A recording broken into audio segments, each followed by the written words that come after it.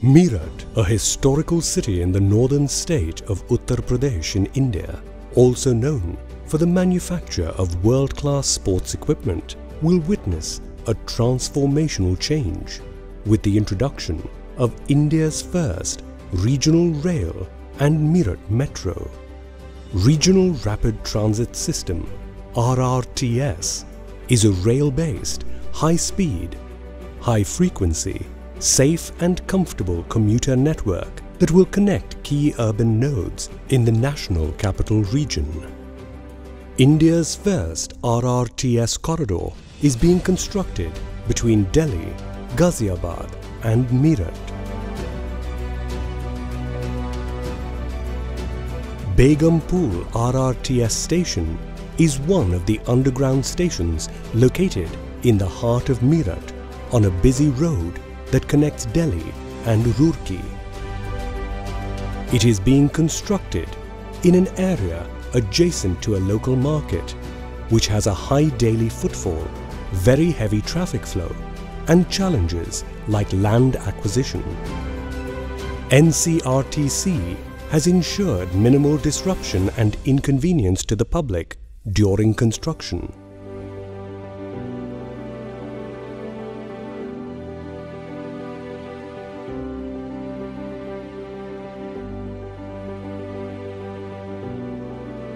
A comprehensive traffic management plan is being put in place to divert the traffic flow along with a pedestrian walkway with handrails as a temporary arrangement until the construction of the station is completed.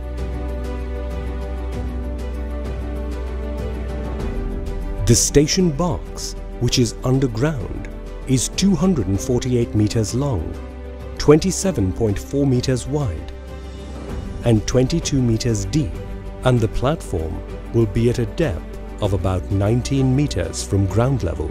For easy access to commuters, four entry and exit gates are provided.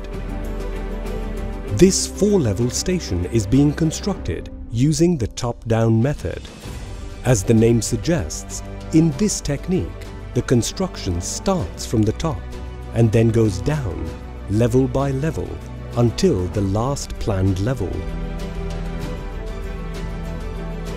Construction work starts with the barricading of the site, identifying and shifting of the existing utilities, shops and residences infringing on the site, and diverting road traffic temporarily.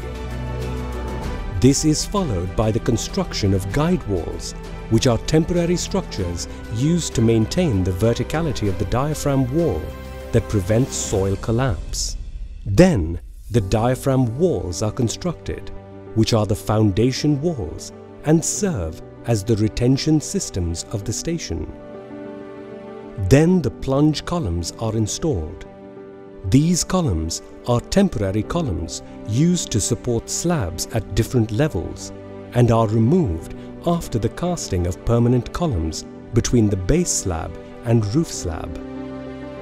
This is followed by the casting of the roof slab, following which excavation is done below the roof slab.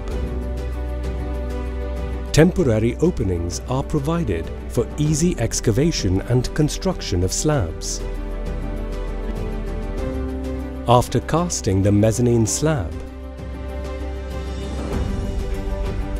excavation is further taken up for the concourse slab through the temporary openings.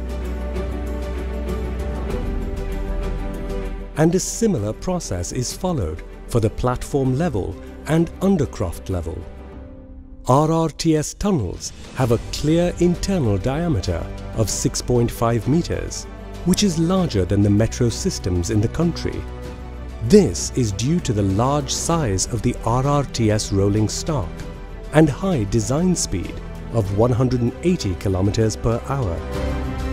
Twin tunnels are being bored using state-of-the-art tunnel boring machines, TBMs, named Sudarshan. These machines are also installing precast tunnel rings concurrently. The spacious platforms will have platform screen doors to enhance commuter safety.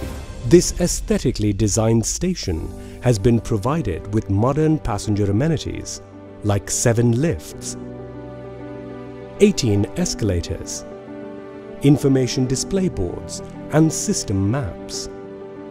The spacious lifts can carry stretchers to handle medical emergencies. The concourse level has ticket counters, AFC gates to enter paid areas, public utility kiosks like ATMs etc., CCTV monitoring, public toilets and firefighting systems are also being provided on the station premises. The street level plan of this station will be aesthetically designed with landscaping, pick-up and drop-off points and multimodal integration along with entry and exit gates, ancillary buildings, etc. This world-class station will not only be universally accessible but will also be environmentally friendly. Citizens of Meerut are also getting their first metro through this project. At Begumpul, people will get both Meerut Metro and RRTS services on the same platform.